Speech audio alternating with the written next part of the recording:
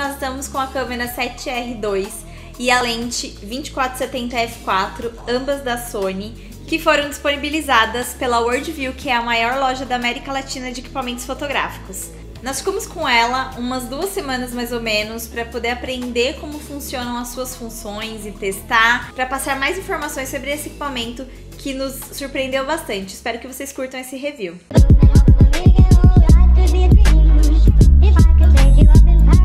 Câmera aqui nos surpreendeu muito. Começa porque ela é a primeira câmera full frame que tem um sensor retroiluminado.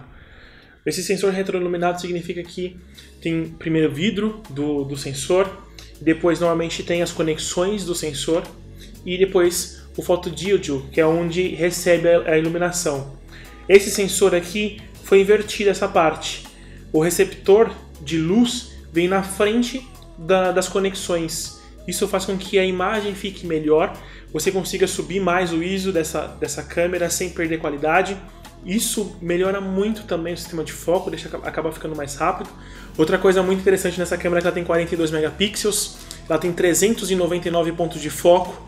Algo muito legal que essa câmera oferece é um estabilizador no sensor. É um estabilizador de cinco eixos e isso tanto para fotografia quanto para vídeo é primordial para você conseguir fazer cenas em baixa velocidade com bastante qualidade.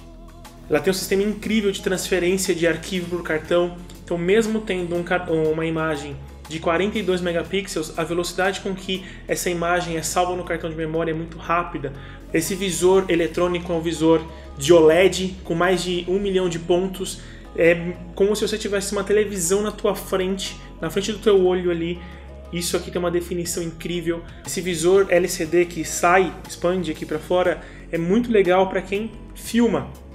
E falando já para quem filma, essa câmera faz vídeos em 4K com muita qualidade, fazem 60 frames por segundo. Se você gravar em HD, ela faz até 120 frames por segundo. O ISO dessa câmera vai de 100 a 25.600, pode ser expandido até 102.400. Isso é muito legal, porque uma coisa é você ter um processador que leva para esse ISO tão alto que facilmente perde qualidade.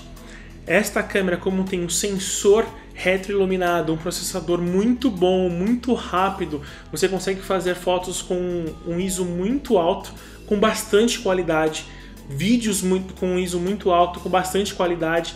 Normalmente a regra é um sensor de baixa qualidade, ISOs muito altos. ISOs mais baixos, sensor de muita qualidade e a Sony conseguiu fazer com que este equipamento aqui conseguisse reunir o melhor dos dois mundos. Ela grava até 30 minutos, tem microfone estéreo, isso é muito legal. Ela faz 5 fotos por segundo para quem fotografa e o peso dela, já com bateria e cartão, é de 625 gramas.